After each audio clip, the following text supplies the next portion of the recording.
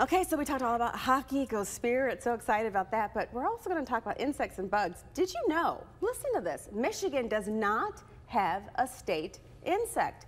That's why Corey Harwood, a science teacher at Owendale, uh, Gagetown, is also here with me. Okay, so you set out on a mission, Corey, mm -hmm. to have your students find this insect. Tell me, why was this something you wanted to do, to get an insect from Michigan? Well, it was essentially like why hasn't this been done? right. Like I, it was a category in Jeopardy uh, okay. during during August, mm -hmm. and it was about the state insect, and you had to guess the state or the insect, and um, and I was like, I really, as a science teacher, I feel yeah. like I should know our right. state insect, and I looked it up and like, oh, we're one of two states that one doesn't have two. one. So you did a little digging and we don't have an insect. I don't like that. Yeah. We're behind the eight ball there. Okay, yeah. so what did you do? How did you get your class involved in this? So all kinds of stuff. So first we did a little bug collection. So they had to go out and catch bugs. Oh, and then nice. I introduced them to the idea that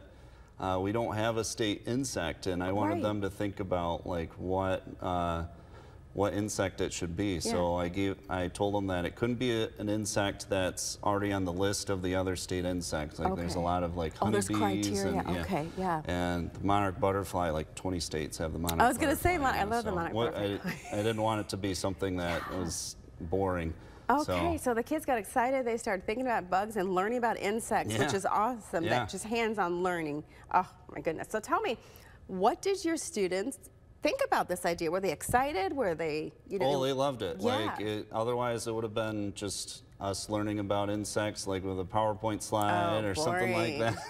yeah, so yeah, they were all on board. They right. absolutely loved the idea. Okay, so what is the insect that you finally came up with? Uh, we came up with the Isabella tiger moth, uh, okay. which is also better known as the woolly bear, the caterpillar that can predict the, oh. the winter weather based on its bands. So. Oh, that's perfect yeah. for Michigan. Look at the little caterpillar there. Oh my goodness. Yeah. So, it, uh, but it, it's not. It's more of like a, yeah. more of like a, a myth kind okay, of thing. Yeah. Okay, so it's okay. not. But. So what's next in this whole process? Well, we've already sent in letters uh, to a lot of representatives, Good. Good. Uh, and we had a couple already sent back about uh, them being interested in okay. bringing it up and yeah. actually making it a thing.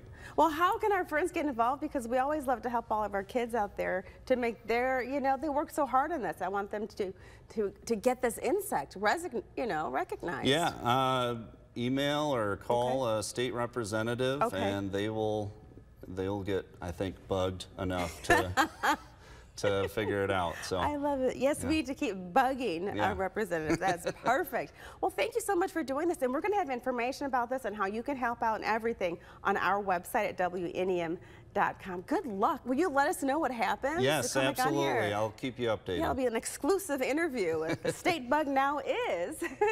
thank you so much yes, for coming. You. Are so welcome. If you have any ideas on what you would like to see in our show, you can send them to us at WNEM-4 p.m. news at WNEM.com. Just use the subject 4 p.m. news spotlight.